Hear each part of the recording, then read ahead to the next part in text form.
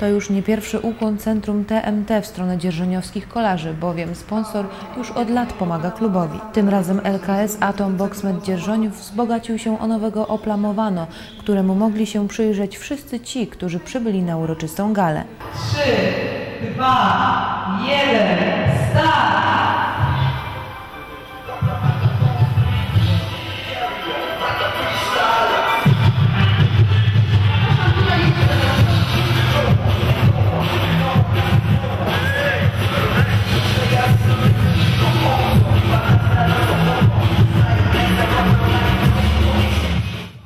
Jako firma Centrum TMT jesteśmy związani e, tutaj z klubem już od dłuższego czasu, wcześniej tylko jako Skoda.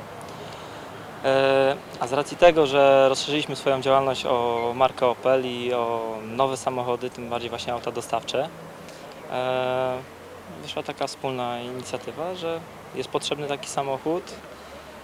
Mamy w tej chwili w palecie takie auta, więc czemu nie? Tylna część busa została zabudowana pod potrzeby klubu. Nowy pojazd spełnia wszystkie wymagania, o jakich mogli marzyć kolarze. Jest to dla nas y, olbrzymie wydarzenie. Y, Jest to y, drugi nowy bus y, w klubie. Poprzedniego busa mieliśmy już mamy od trzech lat, a teraz mamy nowego Opla Movano.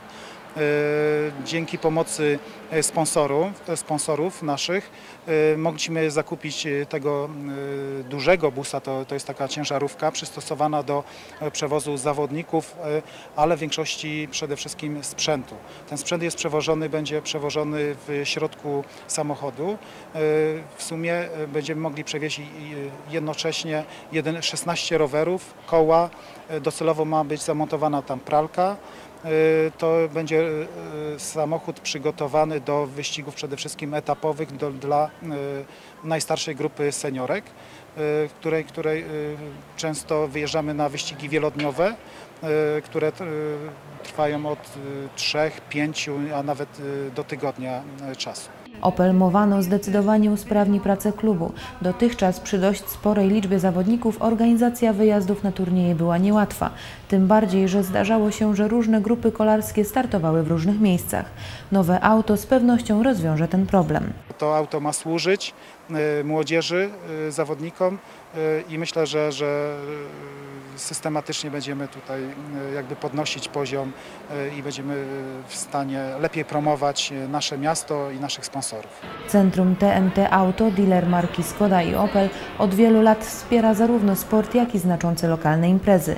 Jedną z nich są dzierżoniowskie prezentacje, gdzie główną nagrodą jest właśnie samochód. Nowy nabytek dzierżoniowskich kolarzy już obsługiwał kilka prestiżowych imprez. Pierwsze trasy ma więc już za sobą, a służyć z pewnością będzie jeszcze przez długie lata.